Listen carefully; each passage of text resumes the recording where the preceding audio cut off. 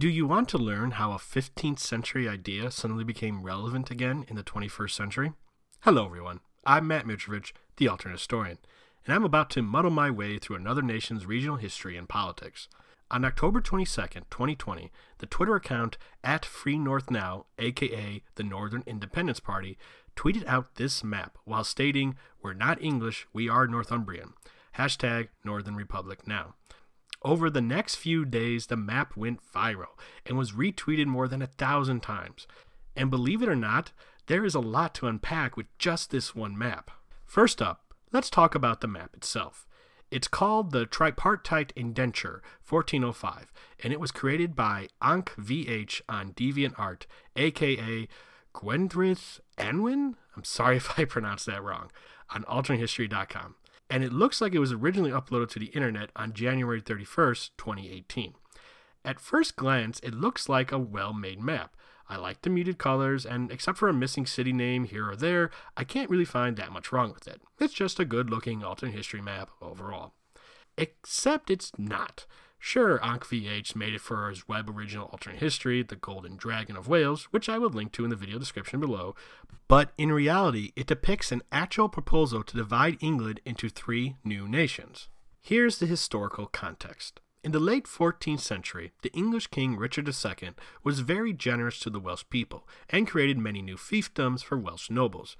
But then Richard was overthrown, and the new king, Henry IV, was not so generous. This led to Owain Glyndwr rebelling in what history calls the Glyndwr Rising. For 15 years, Owain and his followers fought against the English and won many victories against their more numerous foe. In 1405, at the height of the rebellion, when Owain had liberated most of Wales and crowned himself the Prince of Wales, Owain negotiated the tripartite indenture. This agreement would divide up England between Owain, Edmund Mortimer, 5th Earl of March, and Henry Percy, 1st Earl of Northumberland. Owain would get Wales along with a good chunk of West England. Meanwhile, Henry Percy would get the northern half of England, while Edmund would get the southern half. Thus, if Owain's revolt proved to be successful and Henry IV was taken down, Wales would be free of the English and England itself would be split in two. But that's not what happened. Owain's revolt began to falter shortly thereafter, and Owain soon became nothing more than a bandit chief as the English recaptured Wales. Soon, all of the Welsh rebels either died, were in prison, accepted pardons, or fled into the countryside. The Glyndwr Rising was thus remembered as a last gasp of Welsh independence before Wales was incorporated into the Kingdom of England. But what does this rebellion have to do with a map going viral today? Well, actually, not much, except for the part where there was a brief moment in time that there was a possibility of an independent Northern England. You see, much like my own country, England has a North and South divide through much of their history. The North was a stronghold of the Vikings, Anglo Saxons, Catholicism, and the Royalists. It also had poorer farmlands, but after the Industrial Revolution hit, suddenly the co heavy North became the top English bulldog. Hell, one could even argue that Northern England was, along with exploiting brown people, responsible for creating the British Empire. However, by the 20th century, industry in England declined as the country switched over to a service economy that favored the South, especially the financial hub of the UK, London. This led to resentment in the North, which traditionally was a stronghold of the left leaning Labour Party, while the right leaning Conservative Party traditionally controlled the South.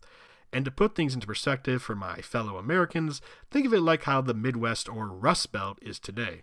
And perhaps because of this resentment, recently exacerbated due to Britain's handling of the COVID 19 pandemic, there have been attempts to either create an autonomous or independent Northern England, sometimes referred to as Northumbria, after the old Anglian kingdom of the same name. A fairly recent attempt of the later is the Northern Independence Party, which is the group that shared Ankh map of the tripartite indenture on Twitter, as a way of showing people the future that they want one where northern England, and presumably Wales and Scotland as well, is free from southern control.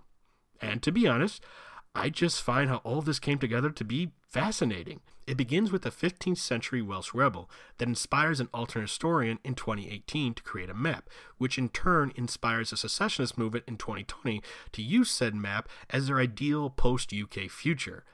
Wow, what a weird set of dominoes, am I right? And while I'm sure Owain didn't set out to create this present, and I have my doubts on the likelihood of an independent Northumbria, it's amazing to see how history plays out in unexpected ways. And even if Ankh VH's map isn't a perfect map, it will certainly be remembered by me for a long time. Well, that is all to say on the subject. If you enjoy what I do, please like, comment, subscribe, share this video, support me on Patreon. I'm Matt Mitrovich, the Alternate Historian. Bye.